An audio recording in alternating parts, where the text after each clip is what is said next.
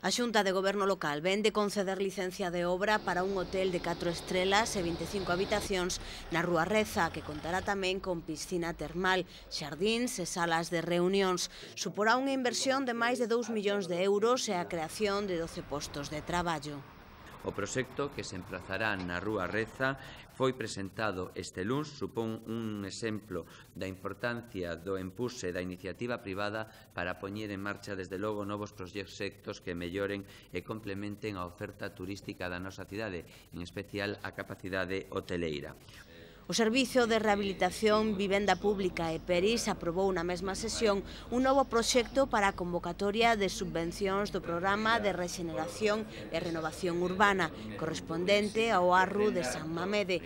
Agora remíteselle ao Instituto Galego de Vivenda e Solo para a cualificación provisional e se se procede o otorgamento provisional da subvención.